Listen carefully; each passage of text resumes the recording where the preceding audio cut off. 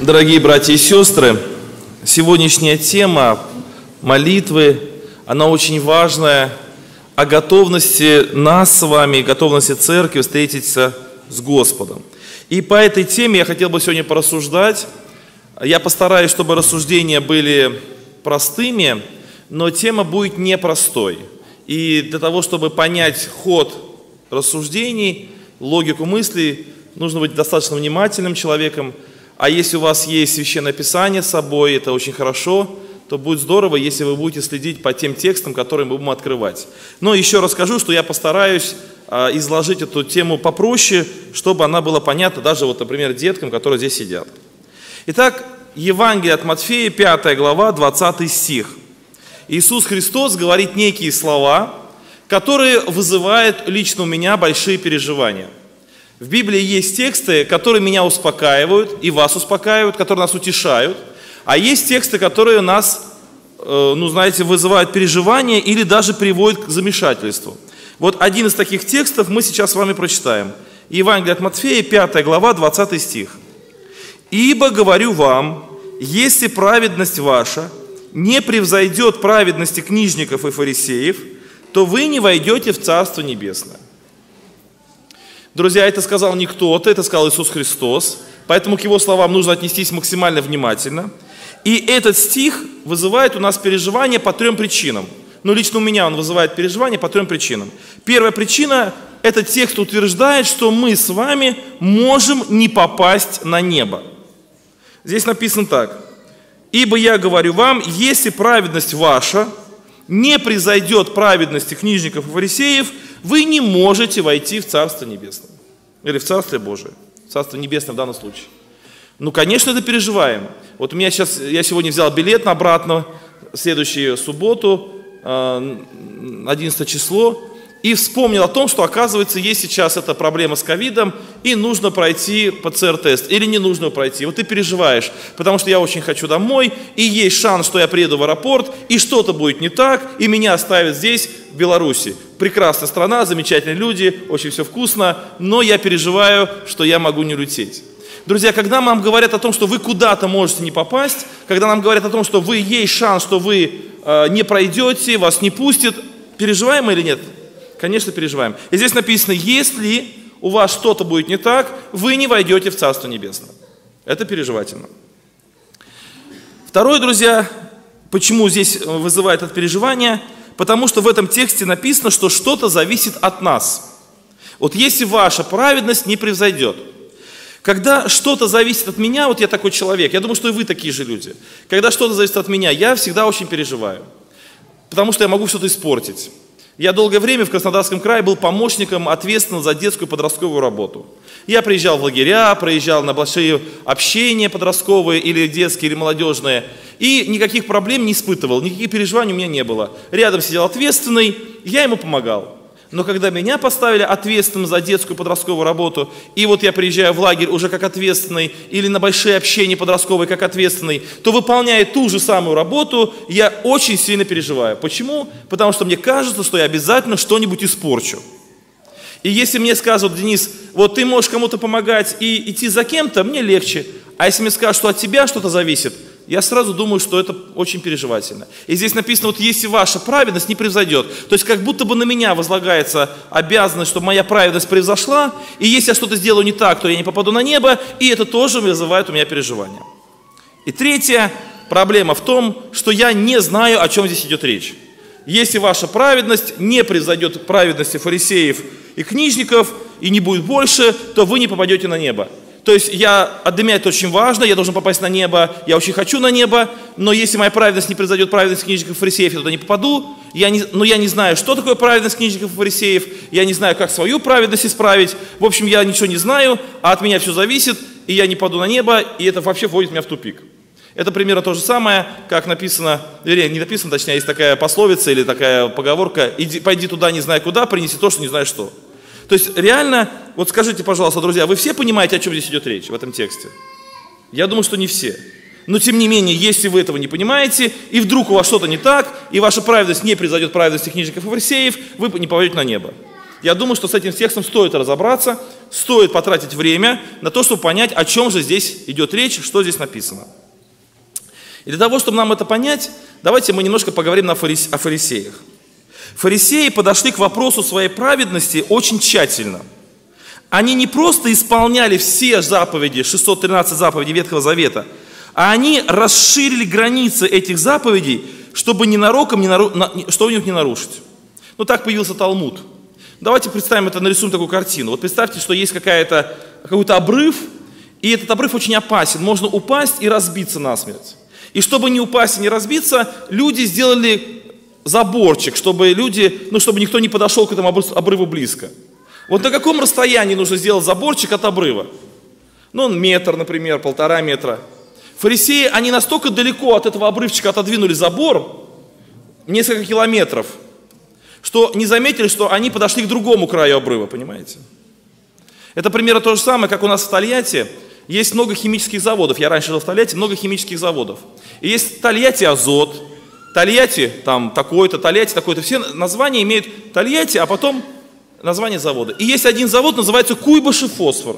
Куйбышев это старое название города Самары. Так почему везде тольяттинские заводы, а внутри Тольятти стоит завод, называется Куйбышев фосфор? Оказывается, когда его строили еще много-много лет назад, был такой закон, что химические заводы нельзя строить ближе, чем 100 километров от города. И поэтому его построили в 100 километрах от Самары. Но то, что он попал в Тольятти, никого не, беспокоило, понимаете? Его построили в Тольятти, в 100 километрах от Самары. Поэтому самарский завод Куйбышев фосфор попал в Тольятти. Вот так и примерно здесь. Фарисеи стали отдаляться от этих, э, ну, чтобы не нарушить какую-то заповедь, как можно дальше от нее отдаляться, как можно дальше, чтобы не было. И они нарушили другие заповеди по пути. То есть настолько далеко, что не заметили, что нарушили другие заповеди. Ну вот приведу вам несколько примеров. И там такая картина. Значит, продавщица ругает э, ну, помощника. Ну, там все по-русски, там очень многие русскоязычные люди, они по-русски разговаривают. И она ругает помощника и говорит, куда ты положил этот пирожок? Ты что, не видишь, что он с мясом? А он говорит, ой, простите, пожалуйста, простите. И кладет его в другое, совершенно в другое, э, ну, в другую, как бы, там, прилавок. А нам же интересно, мы спрашиваем, а что, в чем проблема? Она смотрит на нас, ну, нельзя сюда пирожок с, с мясом положить. Я говорю, почему? Ну, потому что здесь пирожки с творогом лежат. Ну, объяснение такое себе, знаете, если ничего не понял. Мы давай спрашивать. Оказывается, у них строгий запрет. Вот на одном прилавке не могут лежать пирожки с мясом, а пирожки с, с творогом. А почему? Потому что мясо и творог не должны вместе с собой никаким образом рядом находиться. Потому что это молочная продукция, а это продукция мясная. Если вы придете в дом какого-то хорошего, такого богатого еврея, то у него на кухне будет два холодильника, две мойки, два набора ножей, два набора посуды, два набора э, ложек и всего остального. Почему два набора? Потому что одним набором он мясные продукты использует и холодильник для мясных продуктов.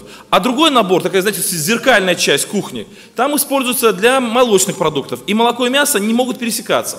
Если вы съели, например, молоко, выпили стакан молоко, молока, то мясо вы можете поесть только не меньше, чем через 3 часа.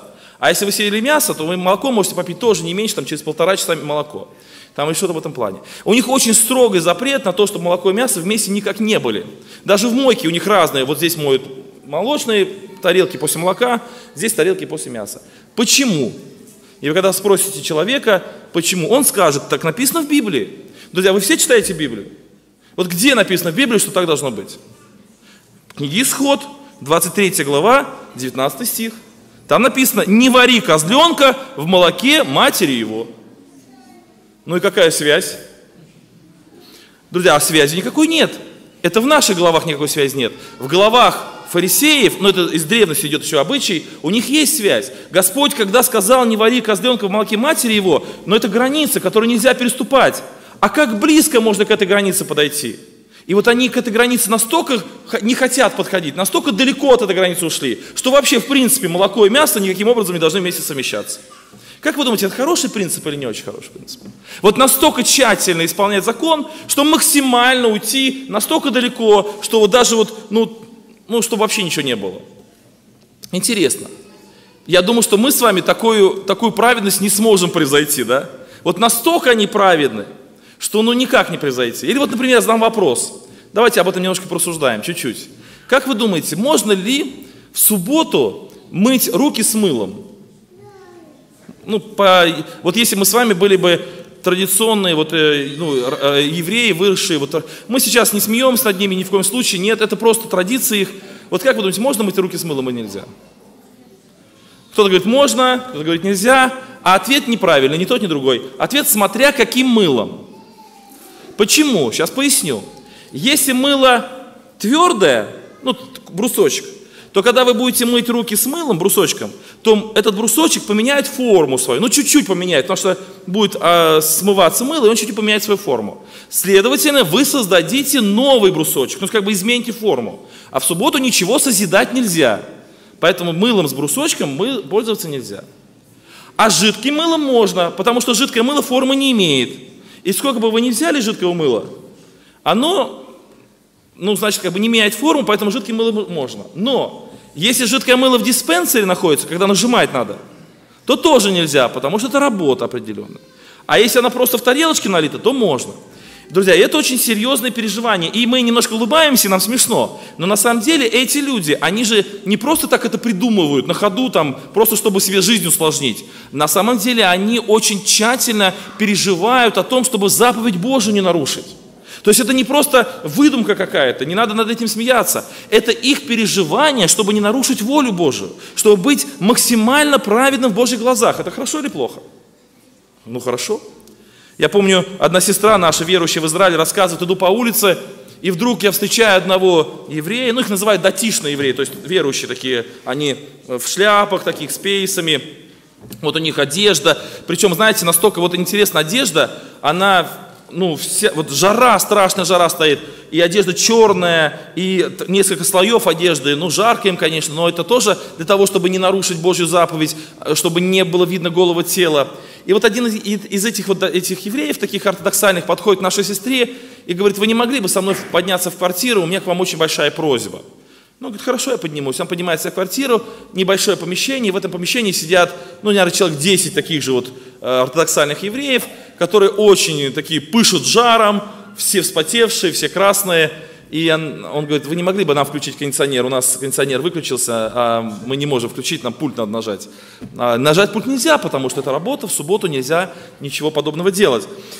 И вот, друзья, опять-таки у нас возникают улыбки, но я еще раз скажу, что это не просто так. Это действительно э, переживание фарисеев к своей праведности. Они очень хотят, чтобы быть максимально праведными. И тут этих людей ждет разочарование. Оказывается, они недостаточно праведны. Господь говорит, вот если ваша праведность не будет больше праведности книжников и фарисеев, вы в Царство Небесное не войдете. То есть они настолько тщательно исполняют законы, они страдают от этого, они действительно жертвенно очень к этому относятся. Они очень много в своей жизни лишаются ради того, чтобы ну, как можно дальше отойти от этого обрыва, в исполнении, ну, чтобы заповедь Божию не нарушить. И, и тем не менее этого недостаточно. Ты не сделал достаточно того, чтобы э, войти в Царство Небесное, и тебе нужна большая праведность. И Христос нам говорит, нам нужна большая праведность. Друзья, и как же нам этого достигнуть? Как же нам это сделать? Вообще совершенно непонятно. Апостол Павел, который сам, в свою очередь, был неумеренным, да, ревнителем отеческих обычаев, как он об этом пишет, то есть он это соблюдал, он в этом деле разобрался. Он очень долго в этом разбирался, и он разобрался в этом деле – и он понял, почему титанические усилия фарисеев не привели к должному результату. Он это понял. И в, третьей главе, э, в третьем стихе, в послании к римлянам, э, он пишет такие слова, что они не разумея, 10 глава, 3 стих, не разумея праведности Божией и усиливаясь поставить собственную праведность, не покорились праведности Божией. Если праведность ваша не превзойдет праведности книжников и фарисеев, вы не войдете в Царство Небесное. Они изо всех сил стараются свою праведность утвердить, чтобы она была правильная, чтобы они тщательно исполняли все заповеди Ветхого Завета. А Павел пишет, что они, оказывается, пытались собственную праведность утвердить, не покорившись праведности Божией. Павел разобрался, но мы с вами, друзья, еще не разобрались. И слова Павла лично для меня не сразу проясни, прояснили ситуацию. То есть они, оказывается, двигались не в ту сторону фарисеи.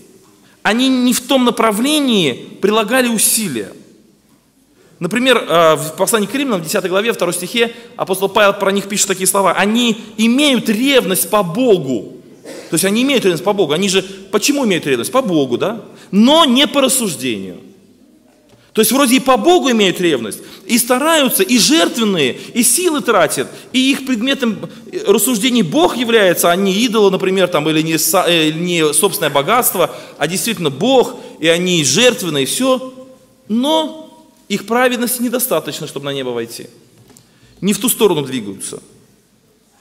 Что же не поняли фарисеи? В чем же они не разобрались? Вот чтобы нам понять, что не поняли фарисеи, в чем они не разобрались, нам нужно с вами немножко вернуться на несколько, ну даже тысячелетий назад, в дни Ездры.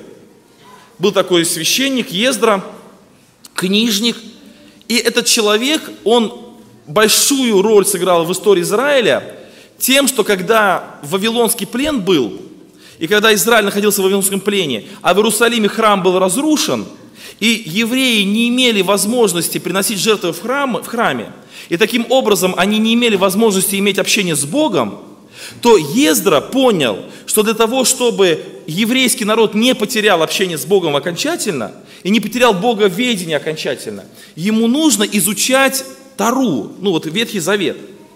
И, и Ездра, как мы знаем, расположил свое сердце к тому, чтобы изучать Ветхий Завет, Писание, исполнять, помните, да? И учить народ. И Ездра создает синагоги по всему народу, по всему, вот, э, где, где жили евреи, по всей этой вот а, по всей диаспоре, где вот жили диаспоры евреев, он создает синагоги и там учит Писание. Это очень хорошо. И появились люди, которые активно изучали Священное Писание, они очень много изуч... тратили на это время. И вот давайте посмотрим на этих людей. Вот представим эту картину. Вот, эти, вот мы представим себе, что мы живем во время Ездра, до Иисуса Христа еще много-много лет, много столетий даже. И вот мы с вами живем, и вот мы ходим в синагоги, и мы читаем священное, мы слушаем священное писание, мы изучаем его, мы тратим свое время на то, чтобы нам понимать волю Божию. Это очень хорошо. И вот давайте представим себе, что нам на изучение достался 14 псалом. Есть у кого есть Священное Писание, откройте, пожалуйста, это, это Священное Писание, 14 Псалом. Давайте мы вместе с вами прочитаем. Этот псалом, он очень похож на то, что сказал Иисус Христос, и мы это сейчас увидим. Псалом Давида. «Господи, кто может пребывать в жилище Твоем? Кто может обитать на святой горе Твоей?» Тот, кто ходит непорочно и делает правду, и говорит истину в сердце своем, тот, кто не клевещет своим языком, не делает искреннему своему зла, не принимает поношения на ближнего своего, тот, в глазах которого презрен отверженный, но который боящихся Господа славит, кто клянется хотя бы злому и не изменяет, кто серебра своего не отдает в рост и не принимает даров против невинного, поступающий так не поколеблется вовек. Вот мы с вами в синагоге во время Ездры и слушаем этот, этот псалом.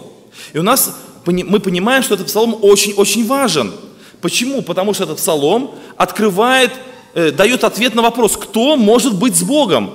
Смотрите вначале, кто может пребывать в жилище Божьем?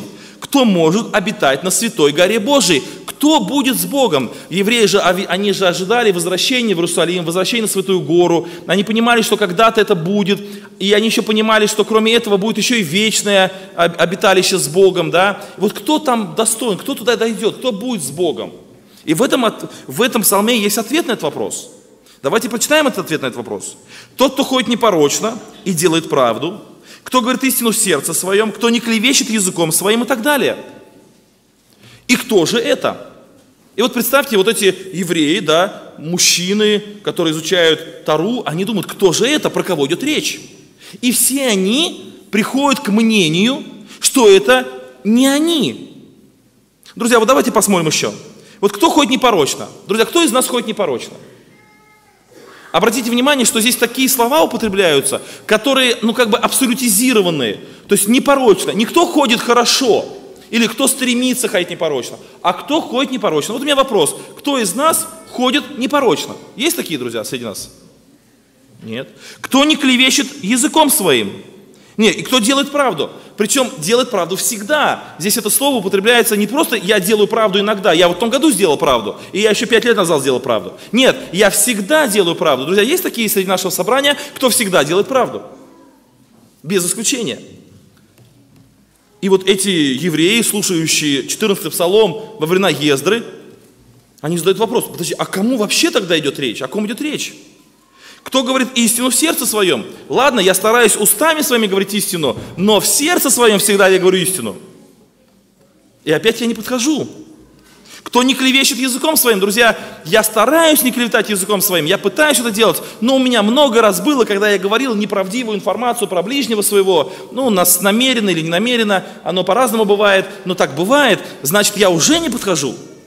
И оказалось, что из этого огромного собрания благочестивых мужей, пришедших в синагогу изучать Тару, читающих 14 псалом, они все поняли, что никто из них не подходит. Никто не может пребывать с Богом. Никто не может пребывать на Святой горе. Друзья, вы это понимаете, да, почему они не могут? И тогда вот это общество, слушающих 14 псалом евреев, оно разделилось на две части. На большую часть и на меньшую часть. Большая часть сказали так. Действительно, мы никак не можем, э, мы не соответствуем этим требованиям. Мы не можем пребывать на Святой горе. Мы не можем быть с Богом. И поэтому, внимание, мы будем изо всех сил стараться, и мы будем исправляться, и мы будем прилагать максимальное количество усилий для того, чтобы нам соответствовать этим требованиям. Мы будем все делать, даже лишнего будем делать, даже будем делать большее для того, чтобы нам соответствовать этим усилиям, э, требованиям, которые здесь есть. Тут написано, кто ходит непорочно, мы будем ходить непорочно в десятикратном размере. Написано, что надо десятину отдавать. Мы будем отдавать десятину смятые руты. Мы будем каждую мелочь отсчитывать. Написано, надо поститься. Мы будем два раза в неделю поститься. Написано, что нельзя сообщаться э, с грешниками. Мы с язычниками вообще разговаривать не будем.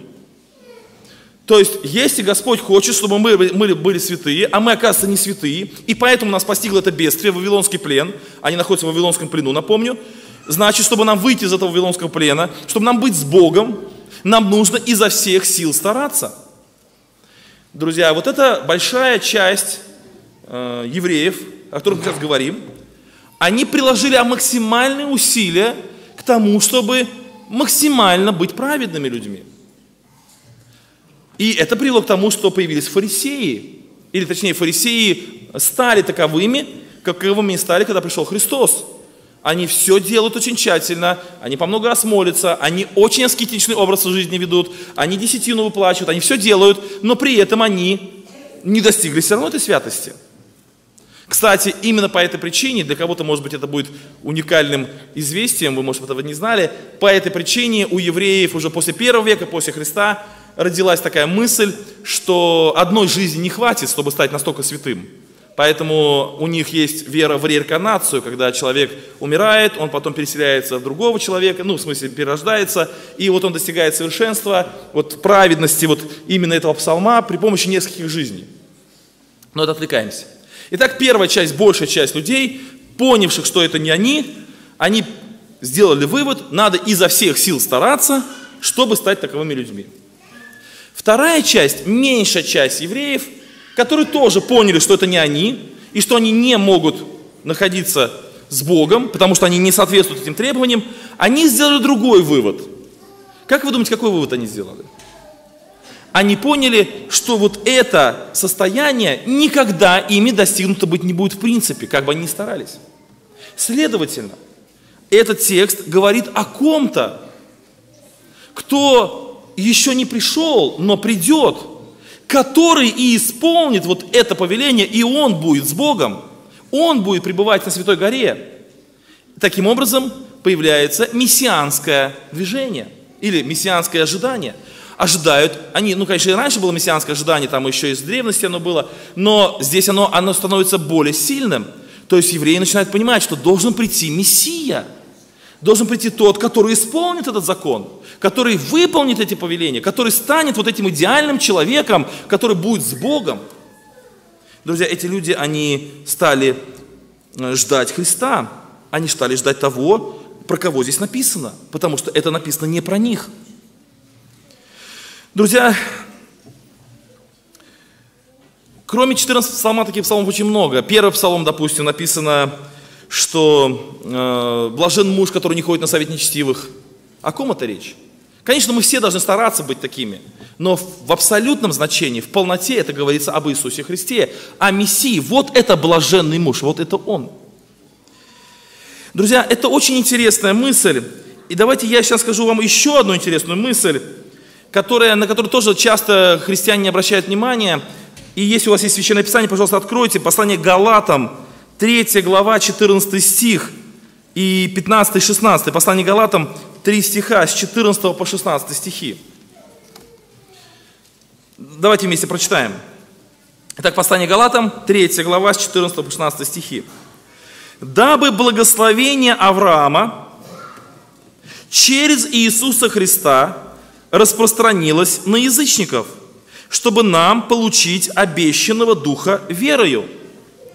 Братья и сестры, я очень прошу прощения, что я акцентирую внимание, но я попрошу вас максимально внимательно сейчас либо слушать меня, либо читать Священное Писание, потому что это то, что мы сейчас будем говорить, это настолько необычная мысль, Э, которое вот для меня было целое откровение, когда я изучал послание Галатам, что я думаю, что ну, для многих это будет действительно очень важная мысль. Итак, 14 стих. «Дабы благословение Авраама», то есть вот Бог обещает благословение Аврааму, оно распространяется на язычников через Иисуса Христа. 15 стих. «Братья, говорю по рассуждению человеческому, даже человеком утвержденного завещания никто не отменяет и не прибавляет к нему, но Аврааму, 16 стих и ключевой стих, самый важный стих, но Аврааму даны были обетования и семени его. Вопрос, кому даны были обетования? Аврааму и кому? И семени. То есть кому? И дальше он пишет, не сказано и потомкам, как бы о многих, но как бы об одном и семени твоему, которое есть Христос. Друзья, вопрос, кому даны обетования Авраама? Кто наследник обетований Авраама? Не христиане, Христос. Только Христос. Именно Он является наследником обетований. Все, что принадлежит, все, что благословение, какие Бог обещал Аврааму, это все принадлежит Аврааму и его семени. А под семени апостол Павел пишет, подразумевается только Христос. Вот эта личность, которая прослеживается и в 14 псалме, и в первом псалме, и во всех остальных псалмах, и в ветхозаветных обетованиях, и в том числе, когда и речь идет о благословениях Ветхого Завета, здесь говорится о том, что это принадлежит Иисусу Христу. Вот это поняли те самые небольшая группа иудеев, которые, когда слышали 14 псалом во времена Ездры, они поняли, что речь не о них, так о ком же? О Христе. Вот, оказывается, о ком идет речь. И апостол Павел пишет, что вот это благословение, которое Бог изливает на Христа, вот теперь оно доступно и нам с вами. Но оно доступно нам с вами только через Христа. Поэтому кто сказал слово христиане, прав. Мы наследники обетования Авраама, но не напрямую, а через Иисуса Христа. И это очень важная мысль, друзья. Потому что фарисеи этого не поняли. Они подумали, что для того, чтобы быть с Богом, надо усовершенствоваться. А малая часть, она в Ветхом Завете называется малый остаток, в книге про Исаия так называется, например. Малый остаток в Малахе так называется, это, эти, эти люди, малый остаток. Они ждали Христа, и когда они его дождались, они поняли, что теперь они могут быть благословены через Христа. Когда Симеон, кстати, мы думаем, что он старец был, но в Библии не написано, что он был старец. Когда он увидел Христа, он взял его на руки, и что он говорит, какие слова? «Видели очи мои спасение Твое, славу народа Твоего Израиля». Также, да, вот, вот, вот слава народа Израиля, вот слава э, действительно еврейского народа, это Христос. Он ждал Христа, Симеон. Анна пророчество ждала Христа. Они все жаждали, когда один из... Э, апостолов будущих прибегает к другому и говорит, мы нашли того, о ком говорили пророки. Они ждали Христа. Почему они ждали? Потому что Он был их спасением. Это наследник благословений, которые наследуют благословение Божие, а потом распространяют на окружающих. Если мы хотим быть наследниками Божьих благословений, нам нужен Христос. Без Христа нет благословений Божьих. Друзья, 34 стих книги Деяния апостолов, 8 глава. Евнух же сказал Филиппу, прошу тебя сказать, о ком говорит это. Помните, Филипп ехал и читал, э, прошу прощения, Евнух ехал и читал книгу про Исаи, И тогда Филипп ему объясняет, а Евнух говорит, о ком это написано? И Филипп отверз уста свои, и, начав от этого Писания, благовествовал ему об Иисусе Христе. Друзья, Филипп, читая пророка Исаию, благовествует о Христе. Весь Ветхий Завет указывал на Христа, а фарисеи думали, что он указывает на них. Им надо только немножко постараться и достигнуть должного уровня. Друзья, вот давайте посмотрим еще некоторые тексты. Деяния апостолов, 10 глава, 43 стих. О нем все пророки свидетельствуют. О ком все пророки свидетельствуют? О Христе. Что всякий, верующий в Него, получит прощение грехов именем Его. То есть, а когда мы с вами читаем Ветхий Завет, Сафонию, Малахию, когда мы читаем Осию, когда мы читаем всех остальных пророков, мы должны понимать, что все пророки говорят о Христе. И не просто о Христе. Написано, о нем все пророки свидетельствуют, что всякий верующий в Него получит прощение грехов именем Его. Вот это весь пророков. Да, мы, читая пророков, этого не видим, но это не потому, что их, этой веси там нет, а потому, что мы неправильно понимаем пророков. 24 стих 3 главы Деяния апостолов. «Все пророки от Самуила и после него, сколько бы их ни говорили, также предвозвестили дни сии». Все пророки, абсолютно все об этом говорили. И поэтому вот Симеон, Анна, они дождались Христа. Почему? Потому что Христос это тот, который должен э, принести благословение. Еще маленький, друзья, пример, вернее, точнее, еще мысль, да, заканчивающая вот эту, вот, вот эту часть. Итак, мы с вами не можем войти в Царство Небесное, если наша праведность не произойдет праведности фарисеев и книжников. Но наша праведность не может произойти праведность фарисеев и книжников, потому что фарисеи и книжники максимально праведны. Они абсолютно праведны, но даже их праведность недостаточно, чтобы войти на небо.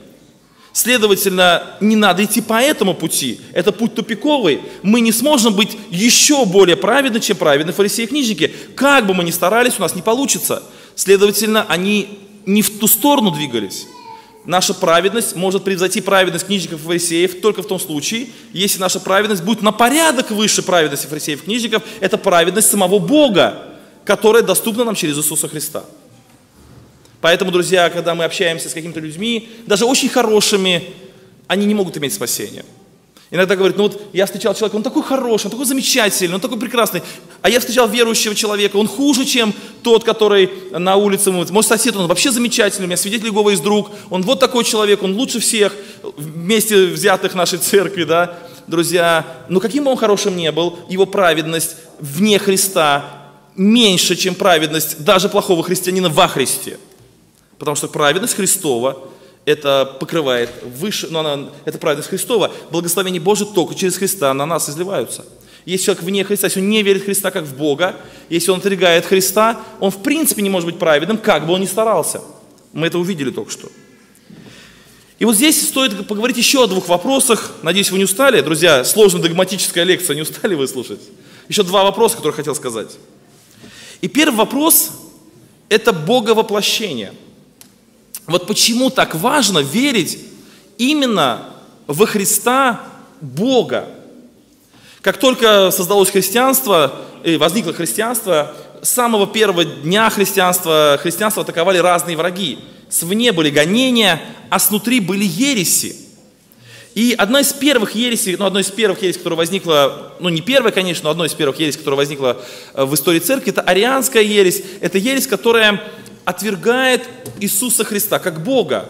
То есть Бог для них это не Христос, это не Бог, это сверхчеловек, это суперангел, но ни в коем случае не единосущный Отцу Сын.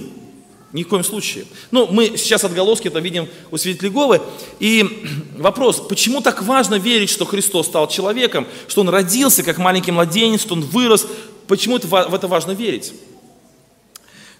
Для того, чтобы ответить на этот вопрос, я приведу пример из Ветхого Завета. В книге, в книге Иова был такой случай. К сожалению, нет времени читать подробно, но в 9 главе там один из друзей Иова предлагает Иову оправдаться перед Богом. Он говорит, оправдайся перед Богом, если ты прав. Иов говорит, ну я своими словами, действительно перед Богом надо оправдаться. Но как я оправдаюсь перед Богом? Что я могу сделать для этого? Если я буду судиться с Богом, то я не устаю на суде. Если я ему деньги предложу, ну там буду откупаться от Бога, то что я ему могу дать? Если я своими словами буду Богу обвинять, то Бог меня поразит. И он предлагает там разные способы, как можно человеку оправдаться, и все способы отвергает, потому что ни один из этих способов не подходит. И в конечном итоге Иов говорит такие слова пессимизма, что невозможно человеку оправдаться перед Богом. И 9 глава, 33 стих книги, книги Иова говорит слова очень важные для всего, э, как бы сказать, человечества, важные для нашей проповеди. Он говорит такие слова. «Нет между нами посредника, который положил бы руку свою на нас обоих». Друзья, в древности был такой обычай. Когда два человека поссорились, а я, например, допустим, вот поссорился там, там один человек и второй человек поссорился, а я знаю их обоих этих людей. И я дружу с этим и дружу с этим человеком. И мне надо их примирить. Ну, сейчас, знаете, как делают? Сейчас руки жмут, да? Когда я был маленький, мы детьми мизинчики так делали, да? Вот так вот, мирились. А вот в древности был такой обычай. Вот этот вот примиритель, он должен был положить руки на этих людей. На, второго, на одного и на второго. И вот он положил руки, и вот через, как бы через него мир распространялся вот на этих людей. И вот Иов говорит, вот есть Бог и есть я. И нет посредника, никто не может положить руки на нас обоих. То есть один, одна рука должна лечь на Бога, на Отца, а вторая рука должна на меня лечь и примирить нас таким образом. Но такого посредника не существует.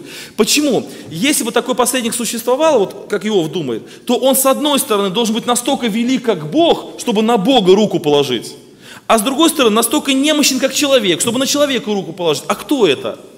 Если это человек, то он не достанет до Бога, да? Если это Бог, он не сойдет к человеку. Если это ангел, то он вообще не то, все, понимаете? И Иов говорит, нет такого посредника. Иов к тому моменту еще не знал о том, что такой посредник есть. Христос это Бог, стопроцентный Бог, и Христос это человек – и поэтому Он может положить руку на нас обоих, и на Бога, и на человека, и поэтому Он может примирить нас. И поэтому тайна Боговоплощения, истина Боговоплощения, она очень важна. Почему, друзья, для нас очень важен праздник Рождества? Почему для нас очень важна вот эта мысль? Я э, вот ехал как-то в машине, и рядом ехал брат вот за рулем, пресвитер церкви. Я с этой стороны ехал, а сзади ехали два брата, э, ну, как бы сказать, недавно обращенных, ну, недавно покрестившихся, ну, может, 2-3 года прошло. И вот они между собой спорили. Один говорит, ты знаешь, я думаю, что Христос... А у них был вопрос, когда Христос стал Богом? И один говорит, я думаю, что Христос стал Богом во время крещения. Второй говорит, а я думаю, что Он стал Богом во время, после воскресения. После воскресения. Ну, вот они спорят между собой, когда Он стал Богом. И потом они спрашивают, Денис, а как ты, как ты думаешь? Я поворачиваюсь и говорю, ну, вы знаете, и то, и другое мнение, ересь достойно отлучения в церкви. И вас, и тебя надо отлучить от церкви заесть, и тебя отлучить от церкви заесть. А они так смотрят на меня, опешили. И потом останавливаемся, этот за рулем, который брат был, говорит, слушай, ну отвел меня в сторону, говорит, Денис, что ты их пугаешь? Да какая разница, когда Христос стал Богом? Но главное, живут, сильно не грешат, в церковь ходят, нормально, все нормально. Какая разница? Ну, ну, верят они же в Бога, верят, ну какая разница? Друзья, знаете, меня ужас взял. Нам важно знать, что Христос это Бог. Нам важно знать, что Христос Бог, сошедший, став человеком, потому что без этой веры у нас нет посредника. Мы не сможем благословение Авраама взять на себя, потому что они только через Христа, который соединяет Бога и человека. Другого варианта просто нет. Он, соединивший в себе оба, обоих, так написано в послании, Колоссянам Ефесянам. Вот еще один текст, давайте прочитаем, друзья, э, очень важный.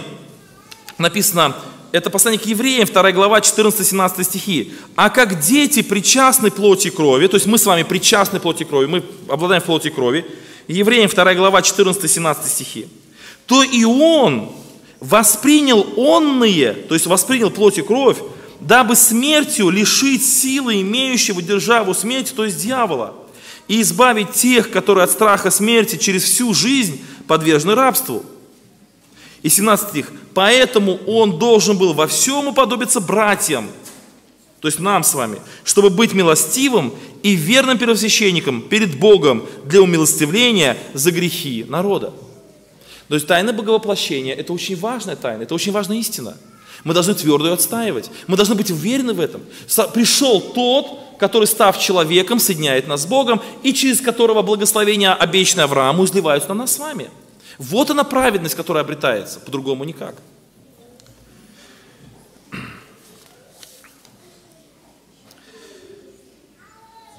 И последняя мысль, друзья, она последняя, но она займет какое-то время. Это будет последняя часть пазла, и потом мы соединим это в одну целую, в одно целое помолимся с вами. Для того, чтобы э, эту мысль изъяснить, я хотел бы вернуться к такой истории Евангелия от Марка. Вот этот стих, который я сейчас вам, вам прочитаю, этот стих меня всегда возмущал. Ну, я прошу прощения, что я так вот дерзновенно говорю, что в Библии что-то меня возмущало – ну, действительно, меня возмущало. И, кстати, я вам скажу, что это э, такой маленький секрет, вот для проповедников могу подсказку сделать. Всегда держите в, в руках карандаш, и когда вы видите в Библии текст, который вам не нравится, или который вас смущает, или вызывает вопросы, не стесняйтесь ставить вопросы. У меня при первых чтениях Библии было вопросов очень много на полях, очень много вопросов было поставлено.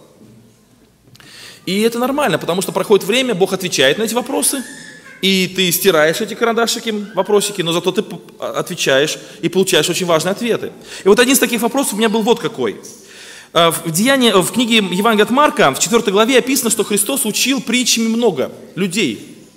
И вот когда Он учил их притчами, то закончил учить притчами, и вот эта вся масса людей ушла домой, а Христос остался с учениками своими. И вот написано 10 стих 4 главы Евангелия от Марка, «Когда же остался без народа, окружающие его вместе с двенадцатью спросили его о притче. И он сказал им, 11 стих, «Вам дано знать тайны Царства Божия, а тем внешне все бывает в притчах». И что меня возмущало? Меня возмущало то, что одним людям дано знать тайны Царства Божия, а другим не дано. И я думаю, а вот к какой, какой, какой категории я отношусь? А может быть мне не дано? Может быть я буду слушать, слушать и ничего не пойму никогда? И второе, что меня возмущало, если мне не дано, то почему с меня спрос? Ну, вам дано, а тем не дано. Ну, и те пошли домой, а вы узнаете все, ну, как бы молодцы. Бог вас избрал к этому, и поэтому вы будете спасенные, а те не спасенные, ну, в общем, им не дано, вам дано.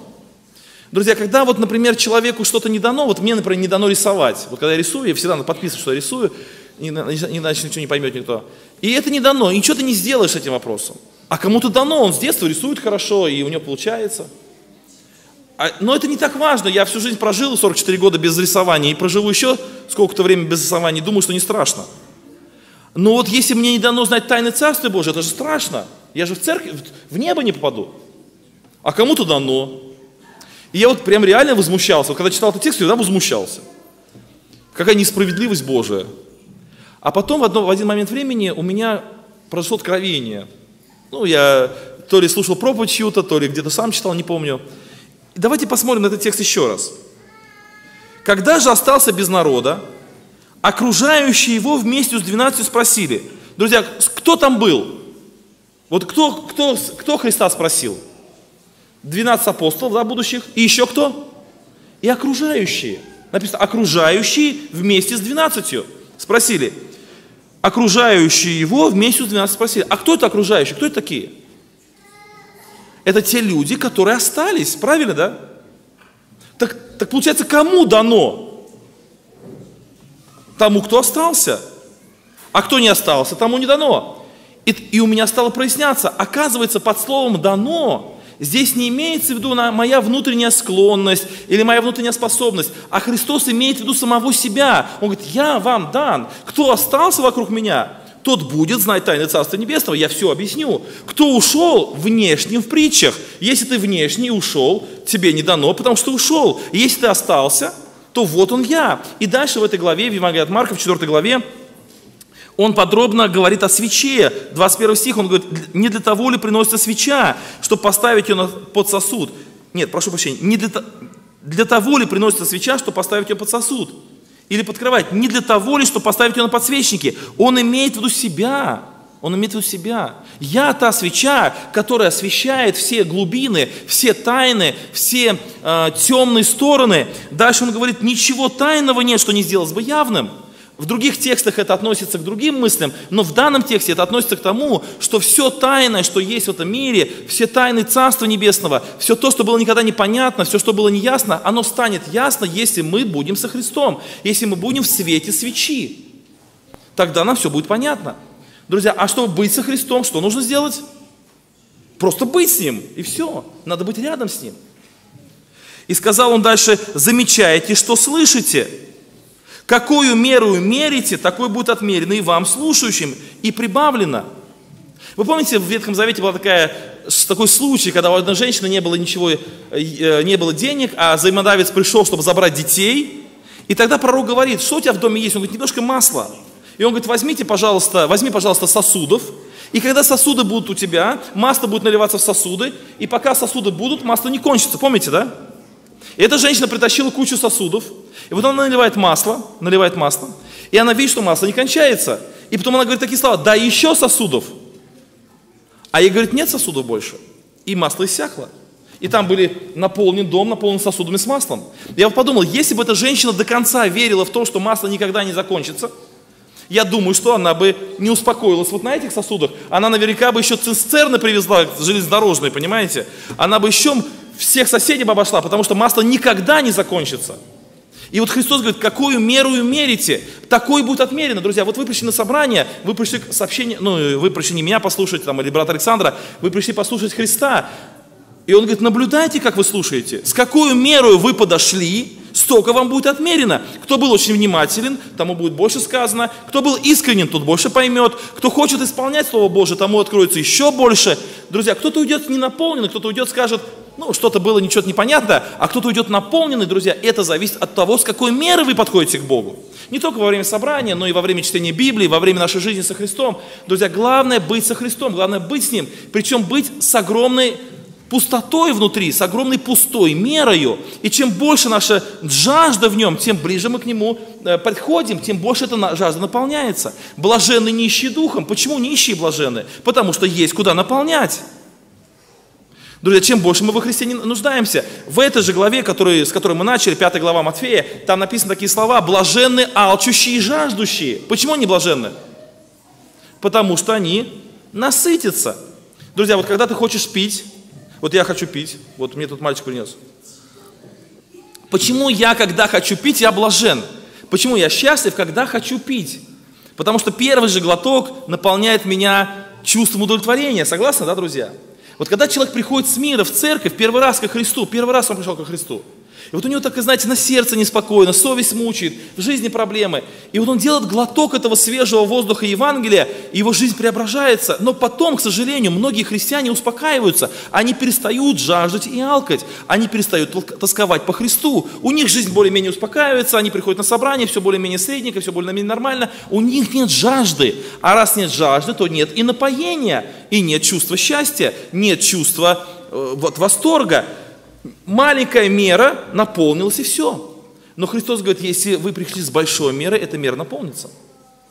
Друзья, и теперь все это соединяем вместе. Заканчиваем все это вместе.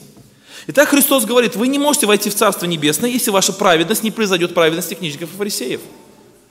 И мы можем пойти по пути фарисеев и изо всех старых сил стараться быть еще лучше. Но мы поняли, что это тупик. Как знак такой, знаете, тупик. Туда ехать бесполезно не проедешь. Следовательно, надо идти в другую сторону. А в какую сторону надо идти? Если мы не можем пойти в эту сторону, то мы должны пойти в другую сторону. В какую сторону? В сторону ко Христу. Пребывать с Ним. С полным сознанием своей ничтожности. С полным сознанием своей нужды. С полным сознанием того, что именно через Него Божья благодать изливается, потому что Он вочеловечился, Он тот посредник. Мы можем идти к тому, который даст нам – к одному православному священнику пришел, пришла женщина для исповедания. И он ее спрашивает, скажите, пожалуйста, а вы читаете Евангелие? А он говорит, она говорит, нет, не читаю. И он говорит, я не буду вас исповедовать, до свидания. Она говорит, почему? Потому что у нас с вами разные интересы, разные цели, вам не нужно Евангелие. Если вам не нужно Евангелие, зачем вам исповедоваться? Она говорит, ну я хочу стать лучше. Друзья, а по какому пути эта женщина идет? По первому пути фарисейскому или по пути Евангелия? По первому. Ей не нужно Евангелие, ей надо стать лучше. Некоторым, нас, некоторым из нас мешают какие-то проблемы своего характера, и мы хотим от них избавиться. И сейчас очень много литературы по поводу того, как нам совершенствоваться, и мы становимся лучше, друзья, но на самом деле это все очень незначительное помогает. Нам нужен Христос, нам нужно Евангелие, нам нужен, нужно Слово Божие, нам нужно погружаться в Него, и тогда через Него благословение в нашей жизни будет преображать нас. Мы будем наполняться Его силою, которая будет нас делать способными побеждать грех, изменять свой характер, менять отношения в семье, в церкви, быть благословенными людьми, друзья, мы не своими силами это никогда не сможем сделать. Нам для этого нужен только Христос. Мы сегодня молимся о том, чтобы церковь была готова к встрече со Христом. А что для этого нужно сделать? Нужно быть со Христом. И все. Нужно прилагать максимальные усилия быть с Ним. Вот те люди, которые слышали эти притчи, друзья, я на этом заканчиваю, вот они слушали эту притчу Христа, притчи Христа слушали, и потом они слушали очень долго и ничего не поняли. И один, говорит, слушай, а может пойдем домой, у меня там корова, э, надо ее кормить и доить. А другой говорит, да что-то я тоже устал. Третий говорит, я вообще есть хочу. Четвертый говорит, да я пять часов слушал, вообще ничего не понял, пойду домой. И они ушли. А кто-то, у которого и корова, и голод, и тоже ничего не понял, он говорит, не-не-не, я, я что-то ничего не понял, я пойду ко Христу, спрошу Его.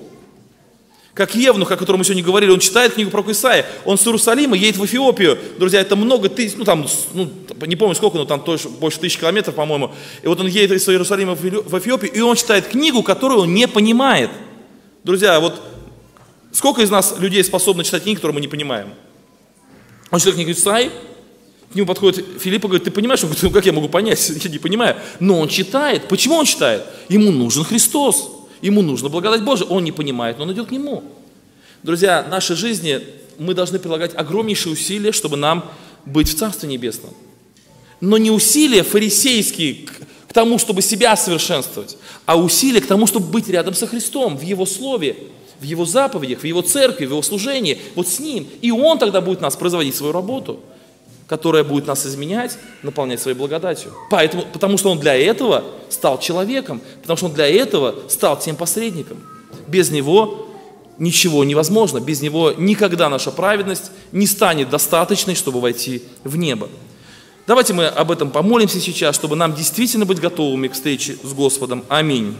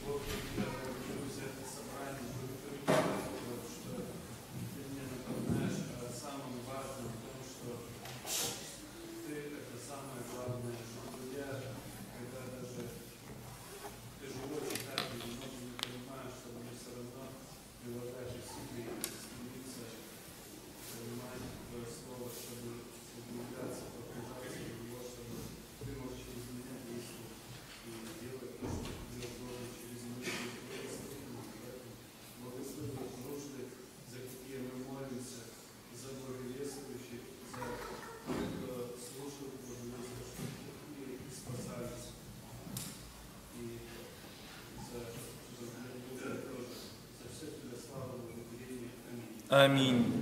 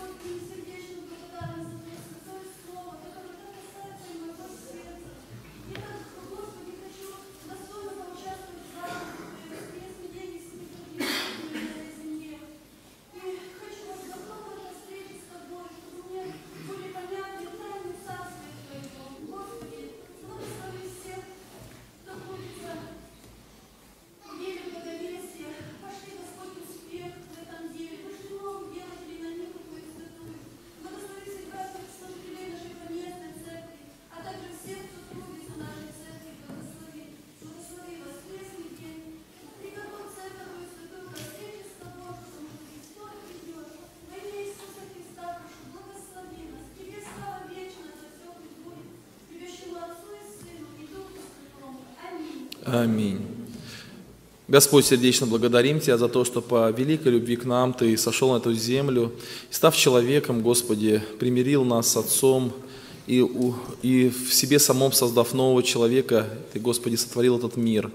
Благодарим за то, что, Господи, благословение, которое, которым наследником являешься только Ты, Ты готов распространять и на верующих в Тебя. И благослови, чтобы действительно мы могли быть нуждающимися в Тебе, нуждающимися постоянно, чтобы никогда мы не вставали на рельсы самоправедности, рельсы, когда мы довольны собой, Господи, но мы понимали, что, Господи, только в Тебе наша сила, в Тебе наша святость, праведность, чтобы к Тебе мы стремились.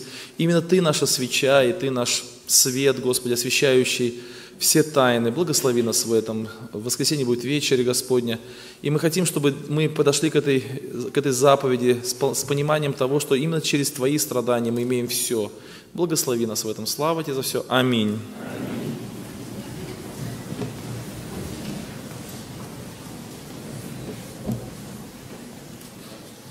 Номер 271. «Я нуждаюсь в Тебе, мой Спаситель, и желаю всегда быть с Тобой» номер 271.